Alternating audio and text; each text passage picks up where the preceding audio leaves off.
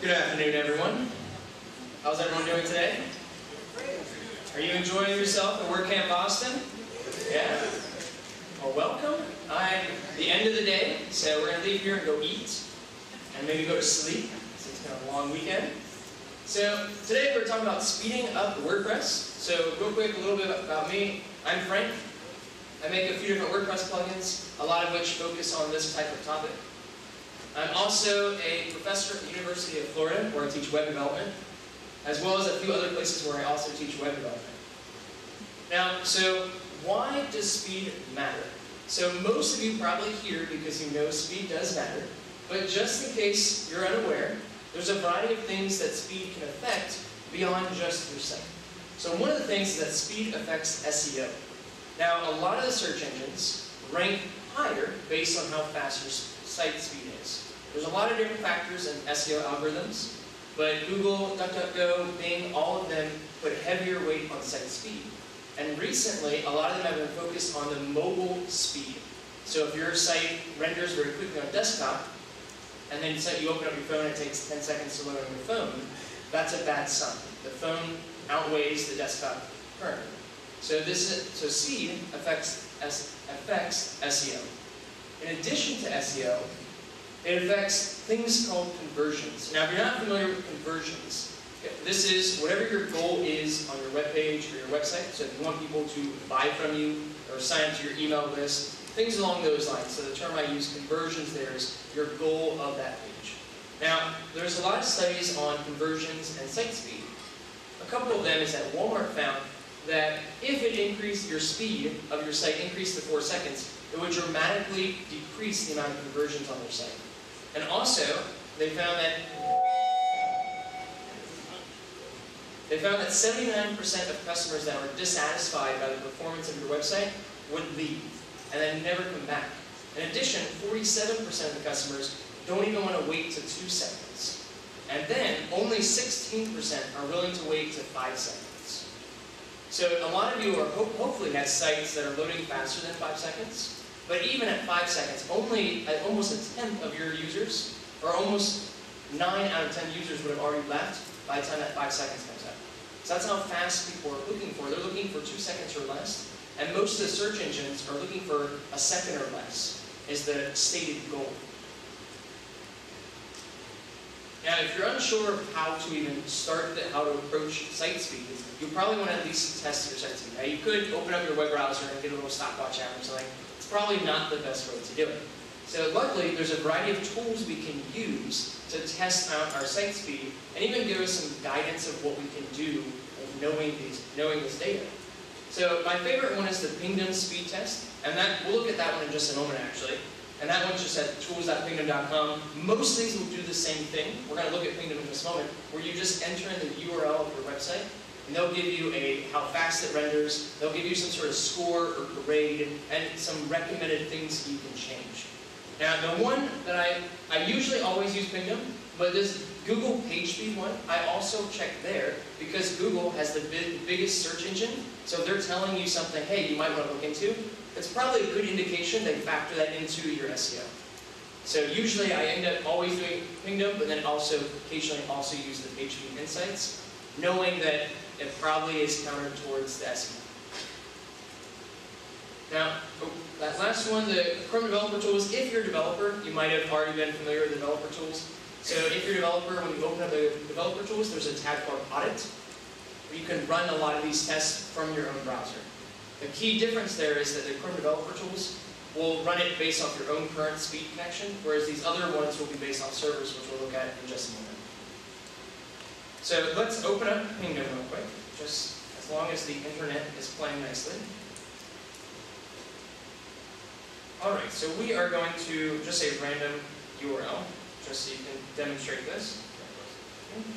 Now, depending on where your target customer is, you're going to see this little drop down of most of these tools where you can select what server to render from.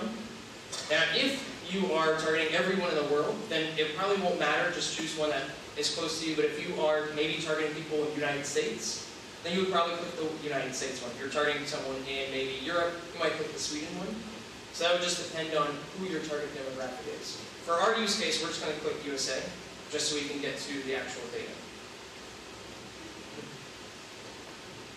So depending on the site, depending on a variety of factors, this could take a couple seconds to load. So this one, you can scroll down here. And now, I'm, using the Pingdom one, but almost all of these would work the same way. They would give you some sort of performance grade. So this one is out of 100. So it's saying I have a C. It gives me a load time, tells me a couple interesting data points, and then we scroll down, it starts giving you a breakdown of things that they checked. And then goes into a little bit more technical stuff, which we'll go over later. Almost all these tools work the way, same way. I like this one because it's nice and color coded and it's real quick to check out what's going on.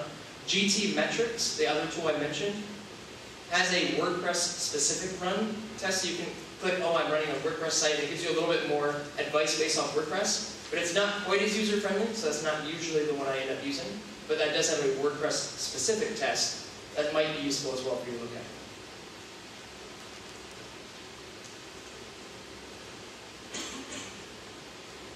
So once you have an idea of what your speed is at, so the site you just looked at was at two seconds, maybe you looked at yours and it's 10 seconds or one second. Once you have that baseline, then you need to actually start optimizing and improving it. Now, the very first thing that matters to speed is your hosting. This is the very first thing. If you have really bad hosting, almost everything else you do won't matter. Now, in addition to hosting providers, there's a lot of technical stuff which I'm not going to get too far into, but things such as the resources allotted to your site, things along those lines are very important. So if you have a really low-end host, they might be giving you very minimal amount of resources, so it takes much longer for your site to run. Whereas sites such as WP Engine, Flywheel, uh, SiteGround, a lot of those have really good resources environments for your site, and so your site will run faster.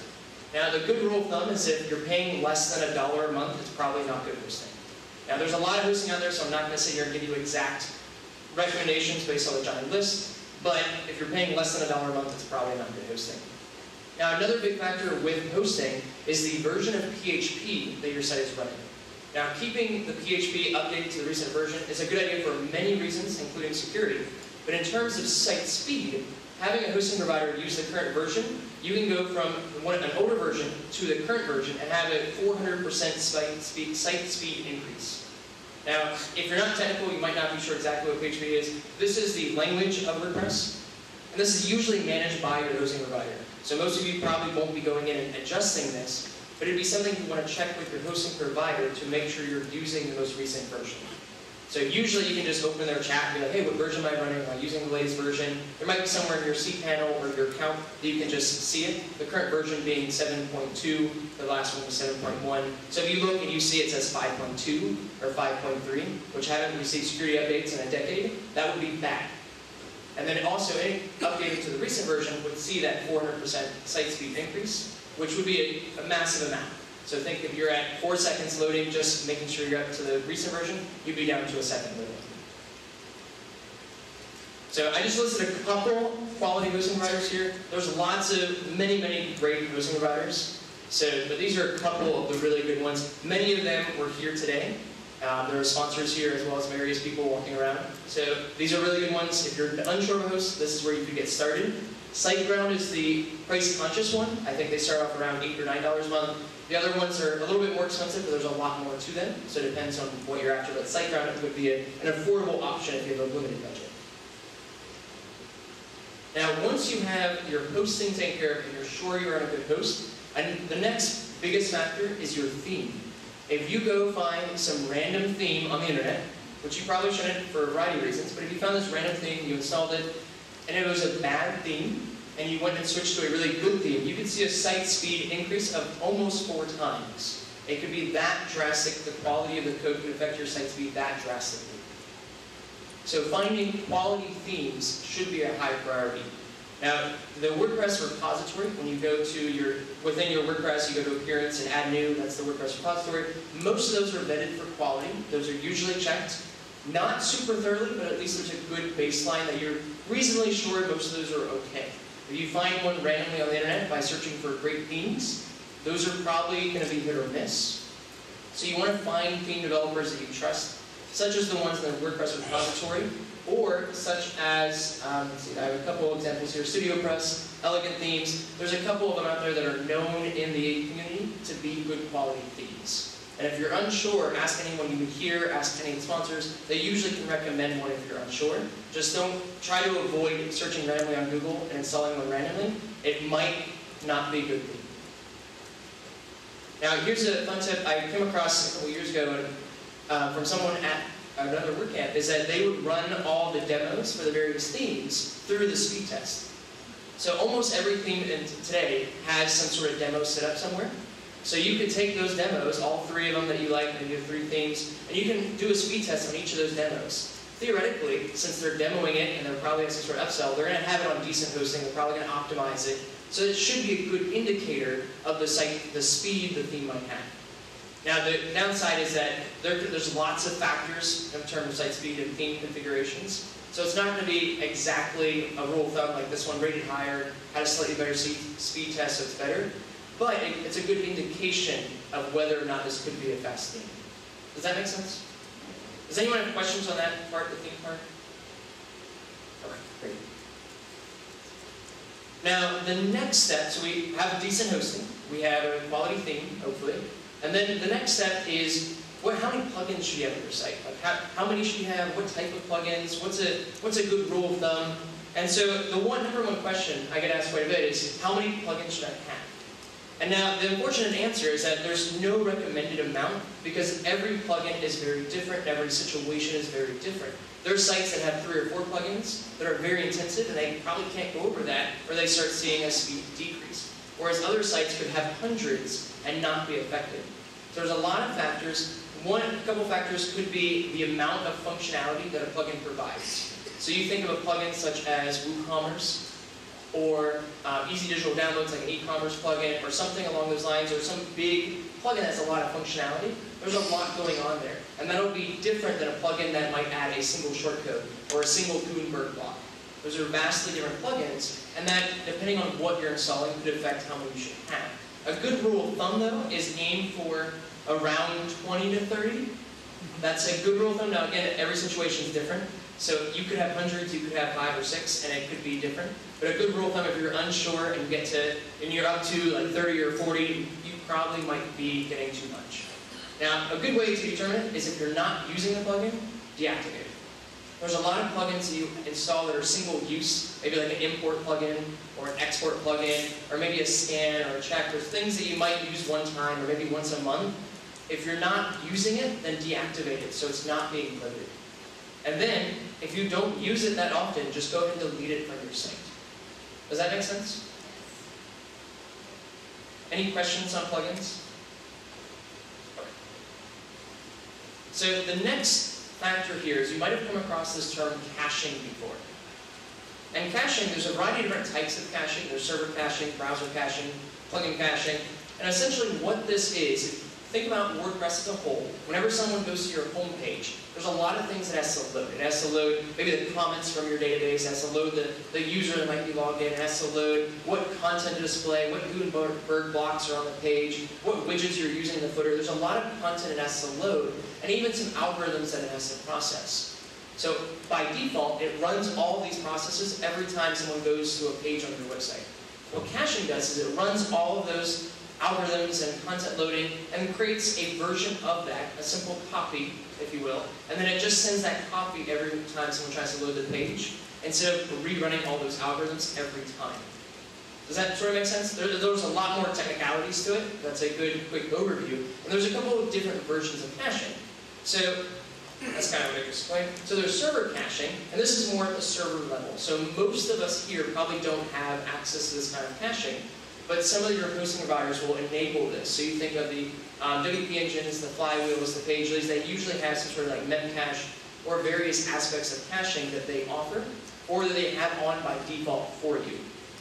Now the downside is that if a host has server caching and they're, they've optimized and they have a lot of configurations, that prevents you from doing anything really with it. So that'd be something to worry about. But we'll get to that in just a moment.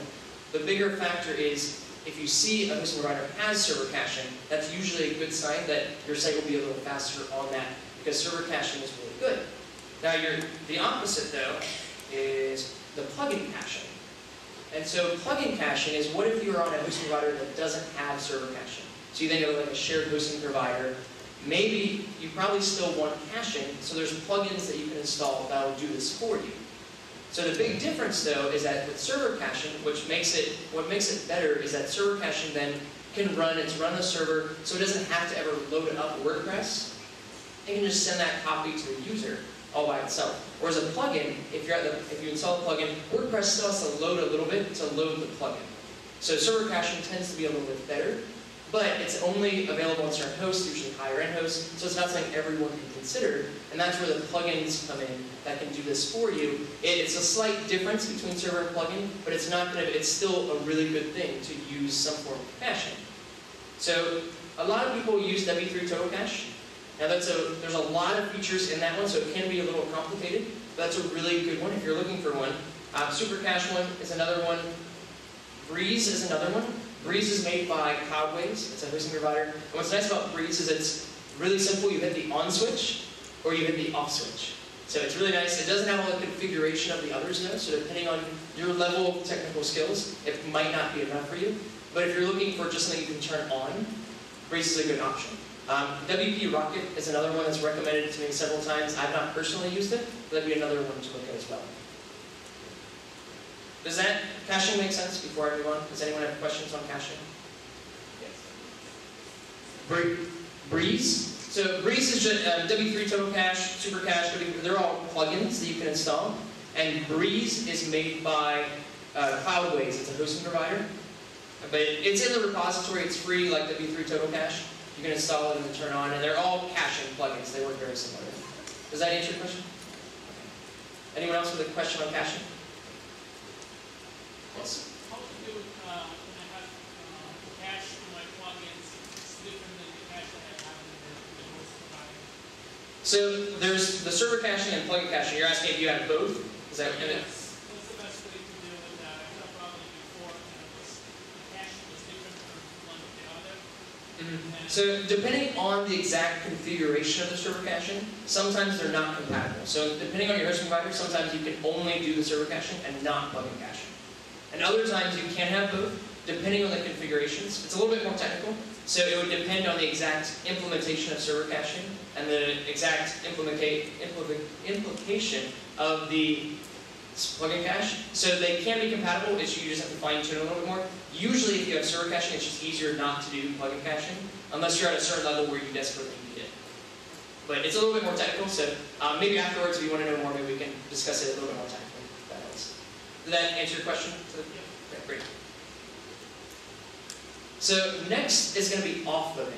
Now, offloading is the concept of having some of your resources on your site on some other server.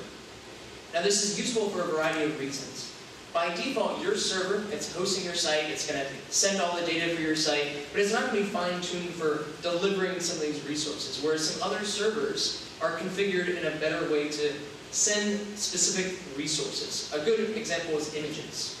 So if we go, yes. So if we have maybe images on your website, most websites have images, you might have lots of them. Depending on your server, it might take a little bit to send the images over to users. Whereas on other servers, they might be fine-tuned for this process. That can send these a little bit faster. But in addition to that, they're also usually part of something called a CDN. And this is a content delivery network. So this is a series of these servers that are fine-tuned for sending this type of data. What, what makes CDNs really nice is that CDNs are, are a network of these servers spread around the world usually. So if I am, a, am your user and I try to go into your website and your site is hosted in New York and I live right down the street from New York, it has to go down the wire, the Ethernet wires, and it gets me fairly quickly probably. But if I was in maybe Japan or some part of Asia trying to load your site hosted in New York, it has to travel all the way around the world, so it's going to take several seconds longer to reach me. Whereas with a CDN, it has a network of these servers, so there's probably a server down the road from me in Asia that can load, send me the data for your website instead of it having to go all the way to your hosting provider in New York. So that's a, a high-level overview of CDNs. There's a lot more technicalities to it, but these are generally a good idea, especially if you have customers or users around the world. Now, I was using the images as an example, but a lot of these can be set up to offload a lot of your resources in addition to images. So maybe your styles, if you have some sort of download, like PDFs or various files or zip files, or even the JavaScript, the actual code that renders a lot of the front-end dynamics of your website, a lot of that can be offloaded to these CDNs as well. So there's a lot of them out there. Now this is a little bit more technical of a step, but you could use a plugin such as WP S3 Offload to do all this for you. So Amazon S3, if you're not familiar, Amazon, the giant retailer, has a giant web technology part of their company where they have servers and host sites on, they also have CDNs, and they have various storage aspects. One of their offerings is S3. So it's, it's sort of like this CDN concept, a little bit different, but that's a whole other conversation. WP S3 Offload is a plugin you can install and just turn on, and it will manage that for you. So that's a really nice aspect. If not, there's also MaxCDN. It's very popular in the plugin space. I see this a lot throughout the WordPress community. That would be another one you can look into. They also have a similar setup where you just sign up for their service and you can install a plugin and turn on, and it handles a lot of this for you. Now, this particular thing usually costs money because you're storing it somewhere. So a lot of the stuff we talked about so far, most of the things I mentioned were free, the Pingdom, the, the W3 Total Cache. This one would actually cost a little bit of money. Depending on your site though, it could be pennies a month. So it just depends on how much resources you have. Definitely something to at least look into though. Does that sort of make sense? Is anyone confused by offloading?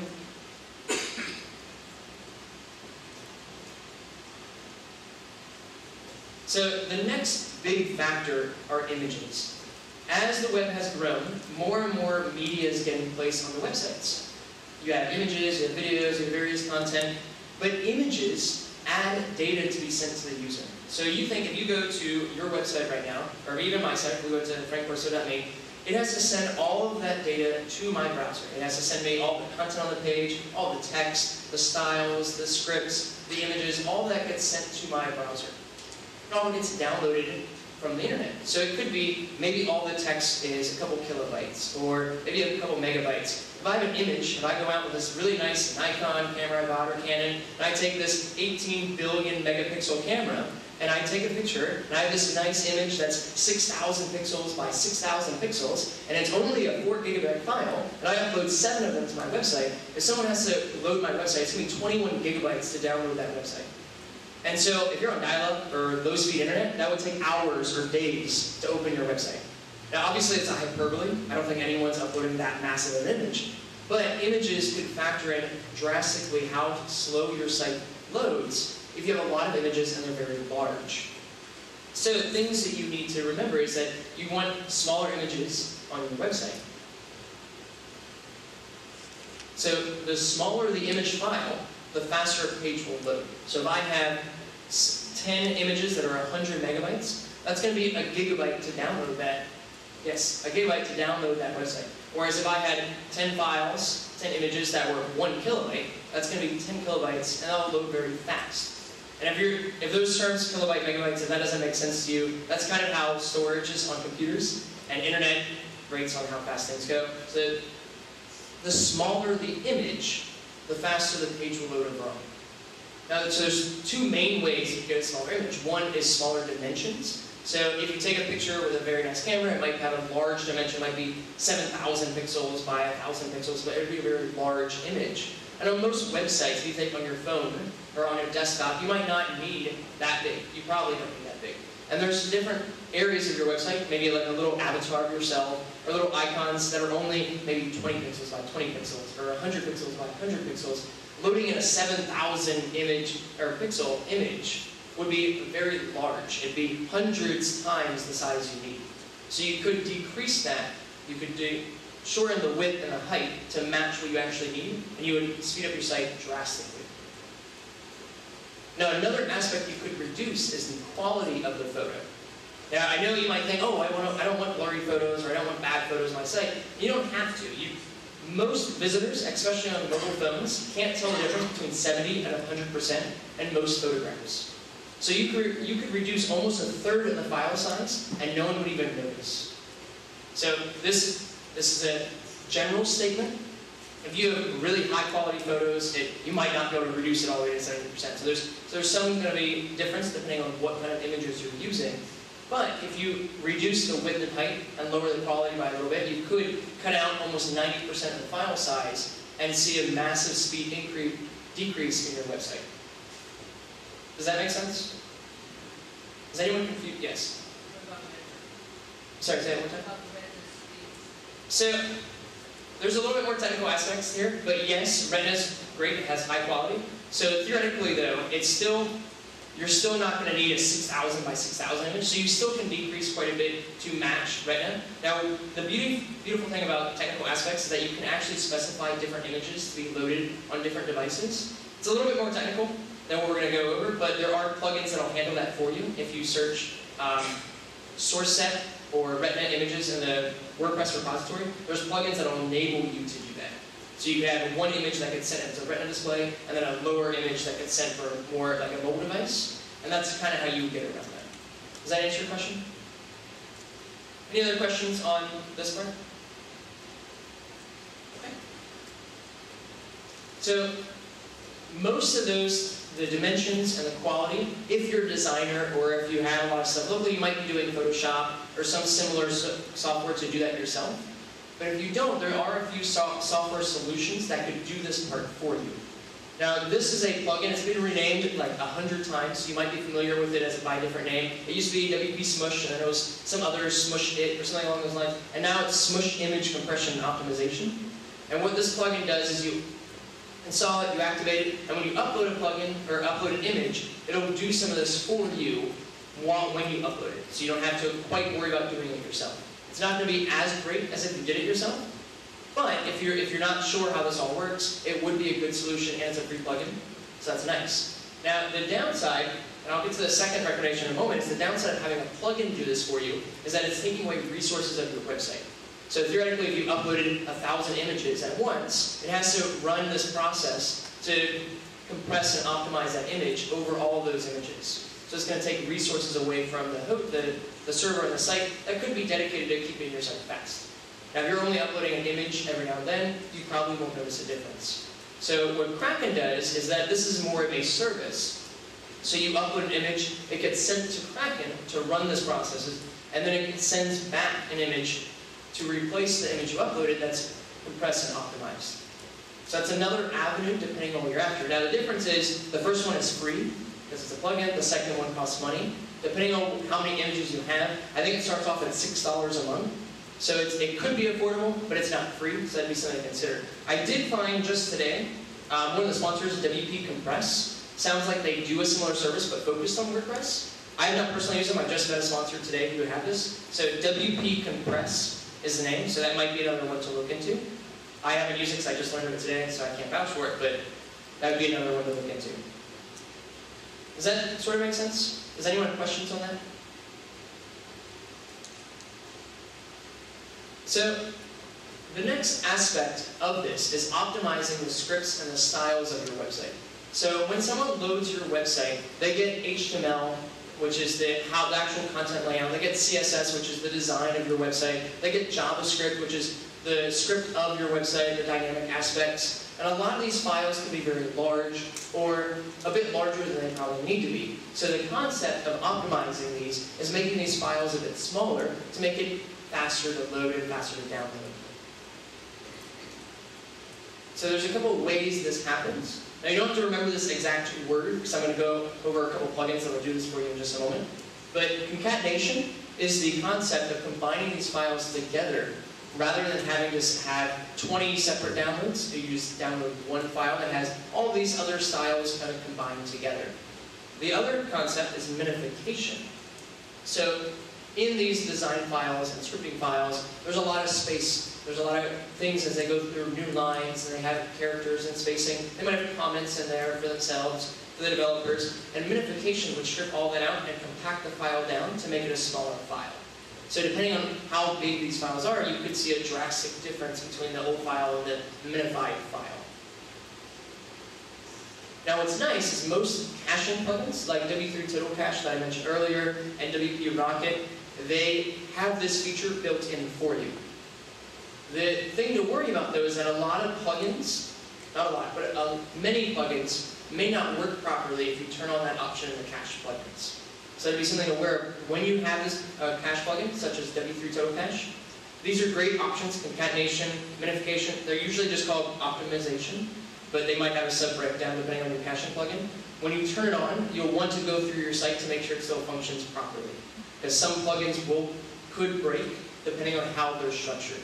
So you want to turn on and then go through your site and make sure everything still works. And if it does, that's great. If it doesn't, then you would have to turn it back off. And then maybe work with the plugin developer, open a support ticket, reach out to support forums, be like, hey, I tried to do this, and something broke. What's what can I do here?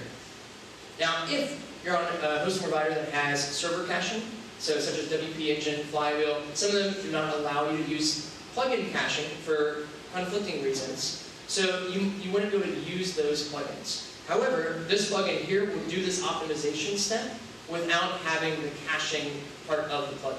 So if you do not have caching, you could use this plugin to at least do this optimization aspect.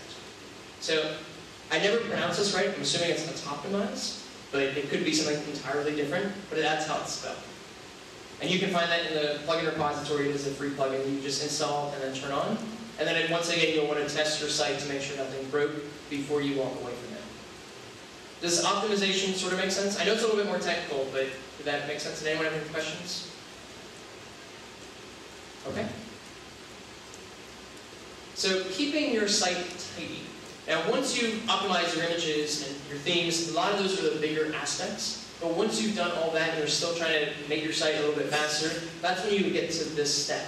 Now when it comes to WordPress, all the data of your WordPress, all the comments, all your pages, all your posts, your users, all that is stored in a database. And when pages get loaded and various aspects of your site is happening, that database has to be queried upon and load a lot of that data. So when you have a lot of data, it could slow down some of that querying, some of that loading. Now, not by a lot. It's not going to be several seconds just because you have some comments in your site. It's not that drastic, but it does have an effect on your site. So, for example, if you try to load a post on your site, maybe it was really popular, and it has 100 comments on it, which, that's great. But if there was maybe 10,000 spam comments, it has to go through all these comments in the database to find the 100 for that post. So sometimes you'll have a spam attack on your site, and you'll log in, you'll have uh, hundreds of spam comments you have to go through and delete. Well, sometimes if you don't log in your site and you forget about it for three years, you'll log in and you'll see 80,000 spam comments. And that's not hyperbole. I had a client that I logged in, they had 85,000 spam comments. That slows down your site because the site has to load, go through the comments database, the table in the database, to find the comments for various posts. So you want to keep up with this kind of thing and delete the, or remove and delete spam comments or your trash comments, things along those lines. You want to keep tidy and only keep like the active comments.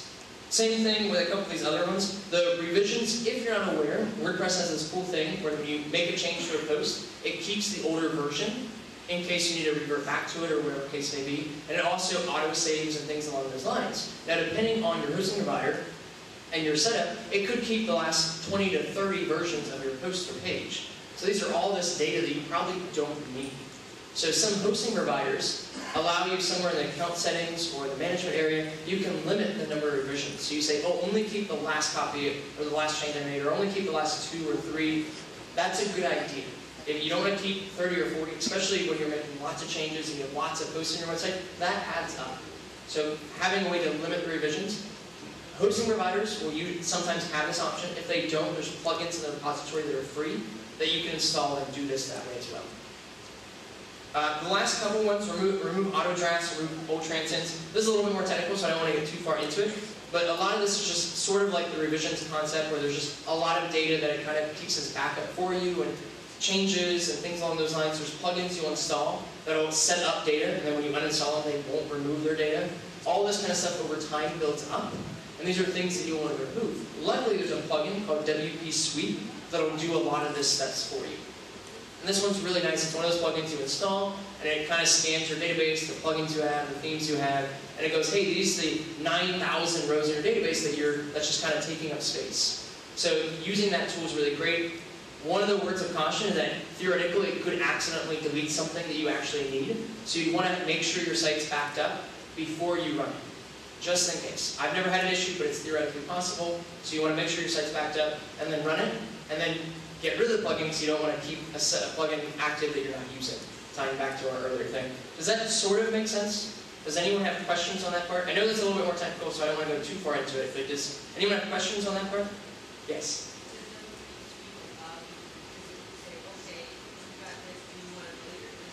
Well, it, it breaks it into categories, but it doesn't break it down like per plugin or anything like that. So it'll tell you, oh, in um, auto drafts you have 217. Well, that that's not going to be super useful for you to check off. It doesn't have that granular. It breaks it into categories. So maybe auto drafts it probably won't have any issues, but maybe the plugin data, maybe you don't get rid of that.